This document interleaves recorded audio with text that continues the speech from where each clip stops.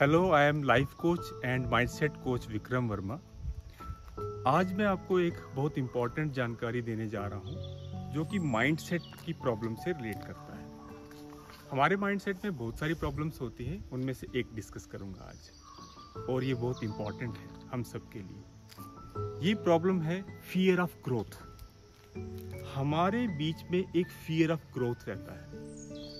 बहुत सारे लोगों के बीच में ऐसा होता है कि हमें फियर ऑफ़ ग्रोथ होता है। उसको मैं एग्ज़ाम्पल देता हूँ कैसे होता है। जब भी कोई अपॉर्चुनिटी हमारे बीच में आती है तो जिसको भी फियर ऑफ़ ग्रोथ वाली प्रॉब्लम होती है माइंडसेट में, वो उसके, उस प्रोग्राम को, जो नया प्रोग्राम आया है, हमारी ग्रोथ से रिलेट करता है, उसकी नेगेटिव साइड पे फोकस करता है, उसकी पॉजिटिव साइड पे फोकस कभी नहीं कर ये ये करेंगे तो ये हो जाएगा, ये करेंगे तो ये हो जाएगा। तो जो पॉजिटिव साइड थी, उसको नहीं देखा। यानी उसमें रिस्क लेने की कैपेसिटी जो है, वो नहीं है। और इसका मतलब है, उसका वाई अभी क्लियर नहीं है।